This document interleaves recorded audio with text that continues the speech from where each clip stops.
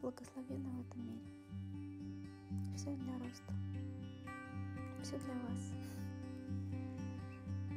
Люблю вас бесконечно.